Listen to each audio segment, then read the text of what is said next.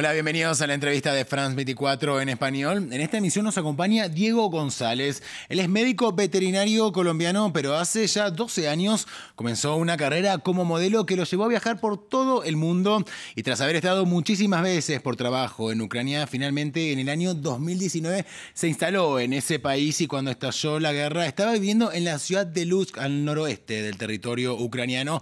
Pocos días atrás logró salir del país junto a su familia y se encuentran en Varsovia la capital de Polonia. Diego González, muchísimas gracias por tu presencia en France 24.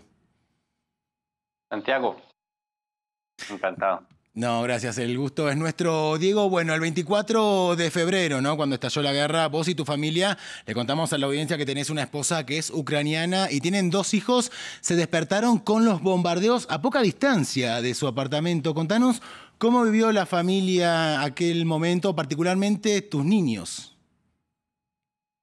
Bueno, eh, muy difícil, ¿no? Eh, a las 5 y 45 de la mañana nos despertó el zumbido de, del avión, creo que fue un avión, y tres bombazos en el aeropuerto militar de Lutsk, que es a las afueras de la ciudad, pero pues no, es una ciudad pequeña, ¿no? Entonces menos de 5 kilómetros, las ventanas, las puertas, la cimbroneada. Eh, mi hijo mayor, Matías, se despertó y pues, ¿qué está pasando, no? Tranquilo, tranquilo, no va a pasar nada, nosotros somos una familia creyente, el Señor está con nosotros, sus ángeles están alrededor nuestro, así que tranquilo. Él se levantó y se sentó en su escritorio, le gusta mucho dibujar, y hizo un dibujito, pues, en la inocencia de un niño, ¿no?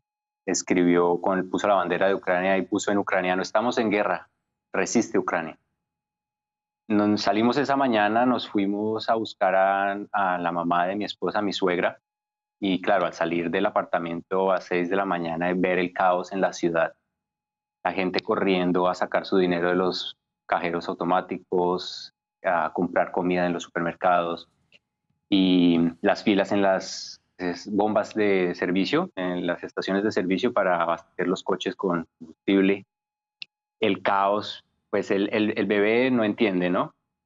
Pero Matías, que tiene siete años, al ver esto, pues es complicado de manejar y más para uno como padre, ¿no? Tratar de explicarle que, que, no, que no porque nosotros seamos buenas personas, el resto de la gente es igual y mucho menos los que están en el poder, ¿no? Entonces, pues llegamos a la casa, al apartamento de mi suegra, también ver a una señora que ha tenido que vivir porque los ucranianos han tenido que vivir cosas muy duras a través de su historia y ver en la cara de ella el, dolor de, bueno, otra vez tenemos que pasar por lo mismo, ¿no? Estuvimos ese día, todo ese día en, en Lutsk y por la noche, por informaciones de gente cercana a la familia que trabaja en el ejército y en puestos gubernamentales, nos dijeron, si ustedes tienen la oportunidad de salir de la ciudad, háganlo cuanto antes. Entonces, fuimos en la tarde y abastecimos el carro, lo llenamos de combustible y en la noche, cuando ya estaba un poco más tranquila la vía, nos fuimos de la ciudad. Ahí, Diego, decidieron, bueno, abandonar la ciudad y se fueron hacia una aldea, ¿verdad? Donde encontraron un refugio y además no era cualquier refugio ni cualquier casa, Diego, porque estamos hablando de la misma casa en la que, bueno, en la que vos y tu familia se refugiaron de la invasión a Ucrania, ¿no? Buscando paz, tranquilidad. Esa misma casa había sido utilizada por los abuelos de tu esposa para refugiarse durante la Segunda Guerra Mundial. ¿Cómo continuó allí la vida, Diego? Bueno, como Correcto, sí, es, es una aldea, ¿no? Eh, zona rural, Ucrania profunda, está entre Lutsk y Lviv, más o menos a unos 100 kilómetros de Lutsk. pues entonces es un sector campesino, ¿no? De siembra, de animales, y pues un lugar muy tranquilo en comparación con la ciudad. Allá no se escuchan las sirenas de, de ataque antiaéreo, de posible ataque aéreo entonces, pues llegamos allí. Esa casa, como lo comentó, era la casa de los abuelos de mi esposa y ellos se escondieron durante la, pues, la, persecución de los últimos años de, eh, y la persecución bolchevique. Claro. Y la segunda y la segunda guerra mundial. Ellos se hospedaron ahí. Ya ahora es la casa de la prima de mi esposa, pero ellos obviamente nos dijeron, véngase para acá. Aquí sí hay espacio para cuatro, hay espacio para ocho. Entonces llegamos ahí y estuvimos ahí una semana larga. Y pues otro, otro, otra historia, ¿no? Allá no, no se escuchaba ni la sirena, ni bombardeos, ni nada. Entonces como que nos calmamos un poco y empezamos a pensar qué hacer, ¿no? Si, si seguir ahí esperando, tratar de salir de Polonia, pero a salir a Polonia, pero en ese momento no era una opción, ¿no? Porque las, las fronteras se colapsaron en los primeros días. Finalmente decidieron escapar, ¿no? ¿Cómo fue ese proceso para llegar hasta Polonia? Bueno, como vimos que estaba como tranquilo, dijimos, devolvámonos a Lutsk, alistemos nuestras maletas y tengamos las listas por si nos devolvemos a Okima, que es el nombre de la aldea, o si intentamos tomar carretera e irnos a la, a la, a la frontera más cercana, que es Yagodín. Entonces llegamos ese sábado a Lutsk, volvimos ese sábado y duramos domingo, lunes, martes, miércoles y dijimos, no, pues está tranquilo, habían algunas veces que sonaba la alarma, la sirena, pero entonces esa noche del viernes a la madrugada otra vez bombardeo y esta vez sí ya fue mucho más cerca. Yo alcancé a hacer un video, al primer bombardeo fueron tres.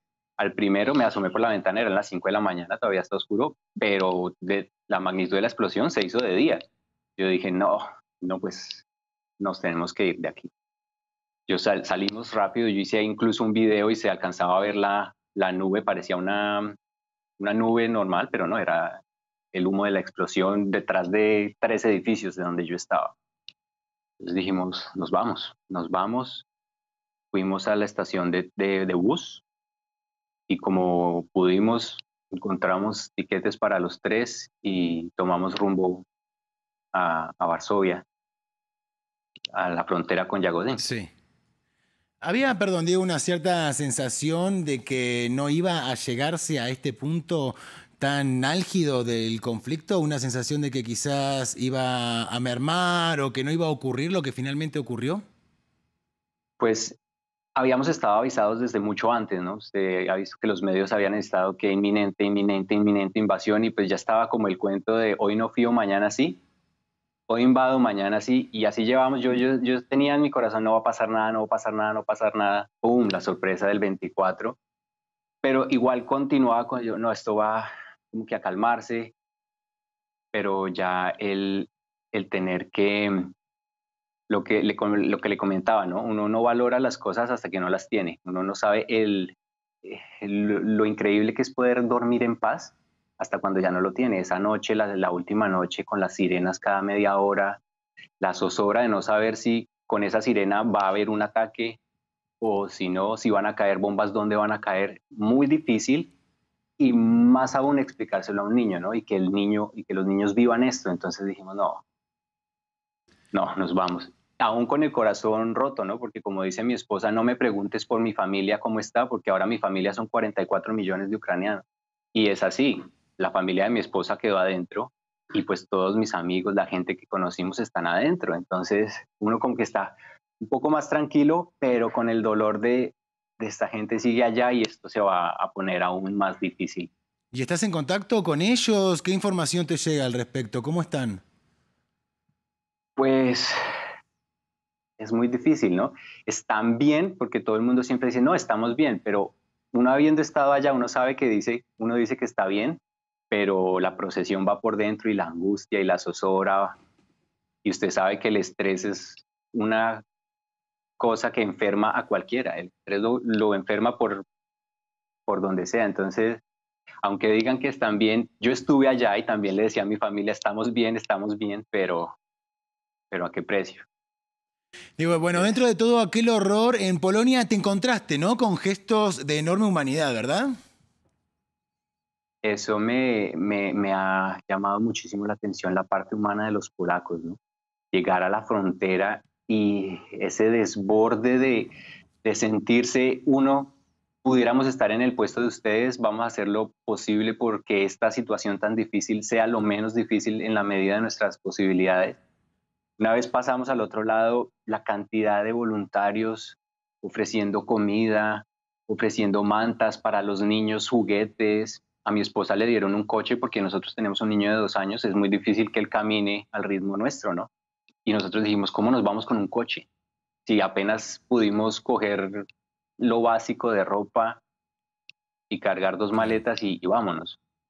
Entonces ver esa parte humana de los, de los polacos, ¿no? Muy, Sí, me imagino que habrá sido muy importante, sobre todo luego de haber dejado atrás las imágenes que narrabas. Bueno, ya estás en Polonia en un contexto de un poco más tranquilidad, ¿no? ¿Cómo son los días? ¿Se están evaluando cómo continuarán sus vidas y dónde hacerlo?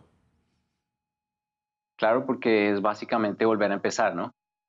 Em, aunque por nuestro trabajo nosotros sabemos lo que es tener nuestra casa en dos maletas de 30 kilos, y de contrato en contrato ir volando de ciudad a ciudad, pues en este contexto es un poco más complicado por lo que tenemos que empezar de cero totalmente a, vamos a ver si seguimos con, nuestro, con lo que veníamos antes trabajando o si nos tocará empezar a buscar pues alguna otra opción. Afortunadamente la Embajada de Colombia en Polonia ha estado fenomenal. El acompañamiento, la ayuda, el apoyo ha sido increíble. Nos recogieron en la estación de buses, nos consiguieron un hospedaje, eh, unos bonos de Airbnb para una estadía larga. Entonces en estos días vamos a estar evaluando, ¿no? Polonia va a dar unas ayudas. Había la opción de volver a Colombia, pero para mí no era una opción porque pues hace 12 años salí porque no tuve las opciones en Colombia, ¿no? Imposible ahora llegar con tres bocas más a dónde llegar, a hacer qué, a engrosar las cifras de desempleados. Entonces, con el dolor del alma de querer que mis papás conozcan a sus nietos, pero en este contexto, en estas circunstancias, no podría volver. Entonces, pues vamos a ver eso, ¿no? Perdón, Diego, se nos acabó el tiempo. Muchísimas gracias por estos minutos con France 24. Ha sido un placer dialogar contigo. Muchas gracias por, escuchar la historia. ¿no? gracias a ti. Una vez más, a nuestra audiencia, como siempre, le invitamos a que sigan informándose en el resto de nuestra programación y en france24.com.